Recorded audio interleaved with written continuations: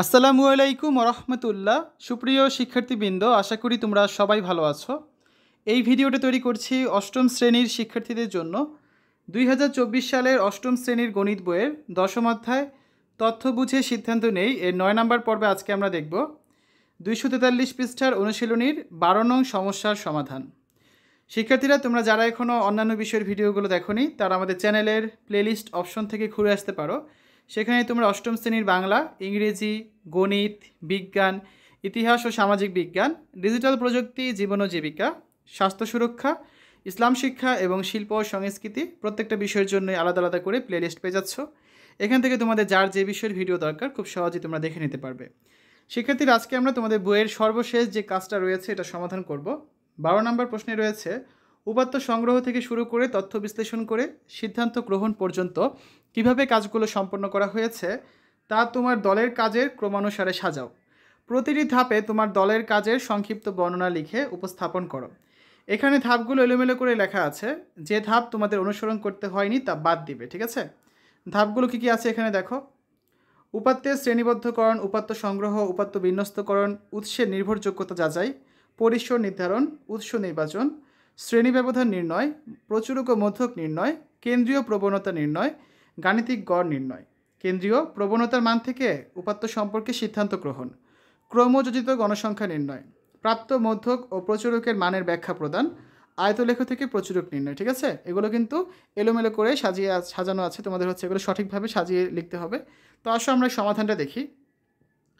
উপাত্ত সংগ্রহ থেকে শুরু করে তথ্য বিশ্লেষণ করে সিদ্ধান্ত গ্রহণ পর্যন্ত কীভাবে কাজগুলো সম্পন্ন করা হয়েছে, তা আমার দলের কাজের ক্রমানুসারে সাজানো হলো। এক নাম্বার উৎস নির্বাচন। দুই নম্বর ধাপ, উৎসের নির্ভরযোগ্যতা যাচাই। ধাপ তিন, উপাত্ত সংগ্রহ। ধাপ চার পরিস নির্ধারণ। ধাপ পাঁচ, শ্রেণি ব্যবধান নির্ণয়। ধাপ ছয়, উপাত্ত বিন্যস্তকরণ। ধাপ সাত, উপাত্ত শ্রেণীবদ্ধকরণ। আট নম্বর ধাপে আছে, কেন্দ্রীয় প্রবণতা নির্ণয়। ধাপ নয়, গাণিতিক গড় নির্ণয়। ধাপ দশ, ক্রমযোজিত গণসংখ্যা নির্ণয়। ধাপ এগারো, প্রচুরক ও মধ্যক নির্ণয়। ধাপ বারো, আয়তলেখ থেকে প্রচুরক নির্ণয়। তেরো নম্বর ধাপ, প্রাপ্ত মধ্যক ও প্রচুরকের মানের ব্যাখ্যা প্রদান করা। ধাপ চোদ্দ, কেন্দ্রীয় প্রবণতার মান থেকে উপাত্ত সম্পর্কে সিদ্ধান্ত গ্রহণ করা, ঠিক আছে? তো প্রতিটি ধাপে আমার দলের কাজের সংক্ষিপ্ত বর্ণনা লিখে নিচে উপস্থাপন করা হলো। এক নম্বরে আছে উৎস নির্বাচন। উপাত্ত সংগ্রহের প্রথম ধাপ হলো উৎস নির্বাচন করা। আমরা কোথা থেকে বা কোন বিষয়ের উপর তথ্য সংগ্রহ করব তা আগে নির্ধারণ করতে হয়। তাই তথ্য বা উপাত্ত সংগ্রহ করার আগে তথ্য বা উপাত্ত সংগ্রহের উৎস নির্ধারণ করতে হয়। ধাপ দুই, উৎসে নির্ভরযোগ্যতা যাচাই। আমরা যে উৎস হতে তথ্য উপাত্ত সংগ্রহ করব, সেই উৎসের তথ্য বা উপাত্ত কতটুকু নির্ভরযোগ্য তা অবশ্যই যাচাই করতে হবে। তথ্য বা উপাত্তের উৎস নির্ভরযোগ্য না হলে আমরা যে উদ্দেশ্যে তথ্য বা উপাত্ত সংগ্রহ করে থাকি, সেই উদ্দেশ্য কিন্তু ব্যাহত হবে। ধাপ তিন, উপাত্ত সংগ্রহ। নির্বাচিত উৎস হতে যথাযথ উপায়ে উপাত্ত সংগ্রহ করতে হবে। উৎস হতে সরাসরি অনুসন্ধানের মাধ্যমে উপাত্ত সংগ্রহ করা হলে উপাত্তসমূহ অধিক নির্ভরযোগ্য হয়। ধাপ চার, পরিসর নির্ধারণ। উপাত্তসমূহের সর্বোচ্চ মান এবং সর্বনিম্ন মান নির্ণয় করে নিম্নোক্ত সূত্রের সাহায্যে উপাত্তের পরিসর নির্ধারণ করতে হবে। সূত্রটা কি? পরিসর সমান আমরা জানি, সর্বোচ্চ মান বিয়োগ সর্বনিম্ন মান যোগ হচ্ছে এক, ঠিক আছে? পাঁচ নম্বর ধাপ ছিল শ্রেণি ব্যবধান। সংগৃহীত উপাত্তসমূহকে বিন্যস্তকরণ করার জন্য উপযুক্ত শ্রেণি ব্যবধান নির্ধারণ করতে হবে। এবং শ্রেণি ব্যবধান আমরা পাঁচ ধরে, দশ ধরে, বিশ ধরে, আমাদের উপাত্ত অনুযায়ী পরিসর অনুযায়ী আমরা শ্রেণি ব্যবধান ধরে আমাদের সুবিধার মতো কাজগুলো করব। ধাপ ছয়, উপাত্ত বিন্যস্তকরণ। সংগৃহীত উপাত্তসমূহ এলোমেলো বা বিন্যস্ত থাকে, যার ফলে, এলোমেলো বা অবিন্যস্ত থাকে, যার ফলে তথ্য সম্পর্কে পুরোপুরি ধারণা পাওয়া কষ্টকর হয়। তাই তথ্য সম্পর্কে পুরোপুরি ধারণা পাওয়ার জন্য, ধারণা পাওয়ার লক্ষ্যে এই তথ্যকে বিন্যস্ত করা প্রয়োজন হয়। ধাপ সাত, উপাত্ত শ্রেণীবদ্ধকরণ। সংগৃহীত তথ্য সম্পর্কে স্পষ্ট ধারণা পাওয়ার লক্ষ্যে নির্দিষ্ট বৈশিষ্ট্য অনুসারে উপাত্তসমূহকে কতগুলো? পরস্পর বর্জনশীল এবং সর্বসম্মিলিত শ্রেণি বা দলে সাজিয়ে উপাত্তসমূহকে শ্রেণীবদ্ধকরণ করতে হয়। ধাপ আট, কেন্দ্রীয় প্রবণতা নির্ণয়। সংগৃহীত তথ্য বা উপাত্তসমূহের কেন্দ্রীয় মানের অবস্থান পরিমাপের জন্য আমাদেরকে উপাত্তসমূহের কেন্দ্রীয় প্রবণতা নির্ধারণ করার প্রয়োজন হয়। ধাপ নয়ে রয়েছে গাণিতিক গড় নির্ণয়।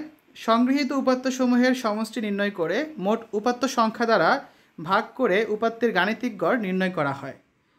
ধাপ দশ, ক্রমযোজিত গণসংখ্যা নির্ণয়। সংগৃহীত উপাত্তের মধ্যক নির্ণয়ের জন্য শ্রেণীবদ্ধকৃত উপাত্তের ক্রমযোজিত গণসংখ্যা নির্ণয় করতে হয়। এই গণসংখ্যাসমূহ পর্যায়ক্রমে যোগ করে ক্রমযোজিত গণসংখ্যা নির্ণয় করতে হয়। ধাপ এগারো, প্রচুরক এবং মধ্যক নির্ণয়। সংগৃহীত উপাত্তসমূহকে মানের ঊর্ধ্বক্রম অনুসারে সাজিয়ে কোন মানটি অধিক সংখ্যকবার আছে তা নির্ধারণ করে প্রচুরক নির্ণয় করি এবং কোন মানটি উপাত্তসমূহকে সমান দুই ভাগে বিভক্ত করে, তা নির্ধারণ করে আমরা মধ্যক নির্ণয় করি। ধাপ বারোতে আছে আয়তলেখ থেকে প্রচুরক নির্ণয়। সংগৃহীত উপাত্তের শ্রেণীবদ্ধকরণ সারণী ব্যবহার করে আমরা আয়তলেখ অঙ্কন করি। এই অঙ্কিত আয়তলেখে সর্বোচ্চ আয়তক্ষেত্রটি হতে আমরা প্রচুরক নির্ণয় করি। ধাপ তেরো, প্রাপ্ত মধ্যক এবং প্রচুরকের মানের ব্যাখ্যা প্রদান। সংগৃহীত উপাত্তের প্রাপ্ত মধ্যক এবং প্রচুরক হতে তথ্য সারির সম্পর্কে ব্যাখ্যা প্রদান করা সহজ হয়। প্রাপ্ত মধ্যক হতে বলতে পারি যে মধ্যক মান হতে সমান সংখ্যক মান ছোট এবং সমান সংখ্যক মান বড় হয়। আবার প্রাপ্ত প্রচুরক মান হতে আমরা বলতে পারি এই তথ্য সারির মধ্যে বেশি সংখ্যক মান হচ্ছে প্রাপ্ত প্রচুরকের মানটি। ধাপ চোদ্দ, কেন্দ্রীয় প্রবণতার মান থেকে উপাত্ত সম্পর্কে সিদ্ধান্ত গ্রহণ। এই সংগৃহীত উপাত্তের গড়, মধ্যক এবং প্রচুরক নির্ণয় করে উপাত্তের কেন্দ্রীয় মান থেকে উপাত্ত সম্পর্কে সিদ্ধান্ত গ্রহণ করা সহজ হয়, ঠিক আছে? তো এই হচ্ছে আজকে আলোচনা, আমরা এতক্ষণ বারো নম্বর প্রশ্নের সমাধানটা করেছি।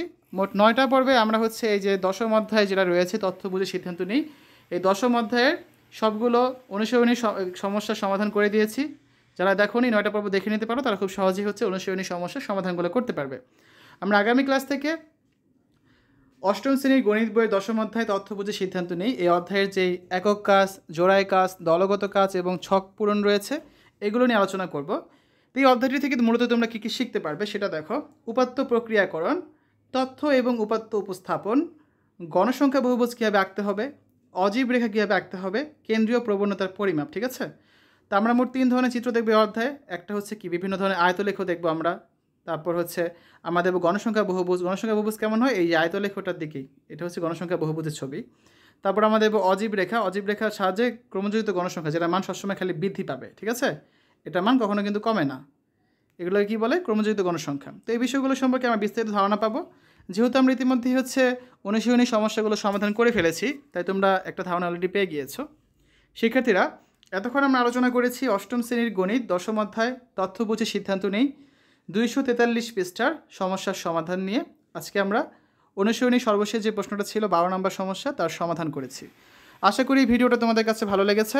পরবর্তী ভিডিওগুলো দেখার আমন্ত্রণ জানিয়ে আজ এখানে বিদায় নিচ্ছি। আল্লাহ হাফেজ।